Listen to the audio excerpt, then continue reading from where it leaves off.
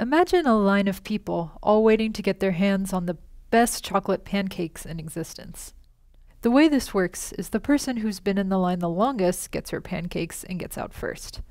People can join on this end, but only people on this end get their pancakes and leave. You could perhaps call this a first in, first out structure, or a queue. A queue is kind of the opposite of a stack in this way. In a stack, the most recently added element comes out first, but here the oldest element comes out first. Otherwise, queues are actually pretty similar to stacks. The first element in a queue, or the oldest element in the queue, is called the head. The last element in the queue, or the newest element in the queue, is called the tail. When you add an element to the tail, the operation is called enqueue. When you remove the head element, the operation is called dequeue. There's also an operation called peek, where you look at the head element but you don't actually remove it.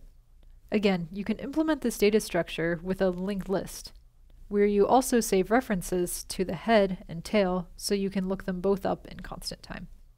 There are actually two special types of queues that show up a lot. A deque or double-ended queue is a queue that goes both ways. You can enqueue or dequeue from either end.